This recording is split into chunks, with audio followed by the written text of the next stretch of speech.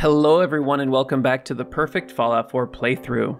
In the last episode, we pushed our base special stats to the max, and now it's time to take it to the extreme.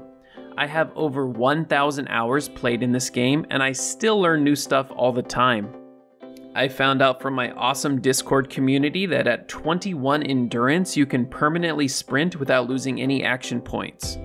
Now, this is usually only accomplishable by using chems, but I decided to see if I could permanently get to 21 endurance. In the last episode, we got our base endurance to 12 through some pretty shady means, uh, so that's our starting point. We can give ourselves an additional endurance point from the Vault-Tec Workshop exclusive Power Cycle 1000. This requires dipping our toes in the DLC content a bit, but that brings us to 13. This means that we need to pick up 8 points from clothing and armor. For starters, the Sea Captain's hat gives plus 2 to endurance, so this is by far the best choice, bringing us to 15. There is no eyewear which adds to endurance other than the unobtainable Gage's eye patch, so I'll just stick with sunglasses. The Fortifying Legendary effect gives plus 1 to strength and to endurance, which meant I needed to farm all 5 pieces of the Fortifying armor using my legendary farming shenanigans. This was the only really tedious part of the process, but this brought me all the way up to 20. For clothing, we have two choices. The torn shirt and jeans from Nuka World gives plus 2 to endurance, however they are not eligible for ballistic underweave. Since we only need one more endurance, the better option is the plus 1 endurance and charisma from the green shirt and combat boots, which are also able to be modded with ballistic underweave. If you were only able to get to 11 base endurance with the bobblehead, then you'll have to use the torn shirt and jeans instead.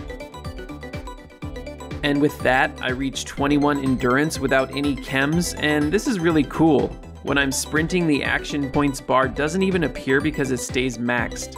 Additionally, rank 3 of the strong back perk usually allows you to run while over encumbered at the cost of action points, but at 21 endurance, we don't even lose action points when we're running over encumbered. It's a really weird feeling not worrying about action points when moving, and it's definitely one of the coolest things I've ever accomplished in my Fallout 4 gameplay. All of that being said, I usually swap out the fortifying legs for the sprinter's legs instead, giving myself a 20% run speed boost. Even dropping down to 19 endurance, I barely lose any action points when I'm sprinting. And I also keep free fall legs in my inventory handy just in case I need to jump off of something without hurting myself.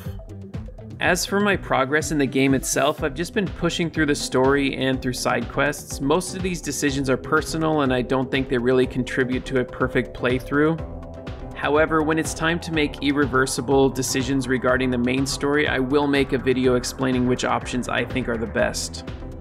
Again, I want to thank my Discord community for letting me know about the infinite sprint endurance threshold. I'd love if more people would join the awesome community. It's a great place to interact with me and a lot of other knowledgeable Fallout 4 players.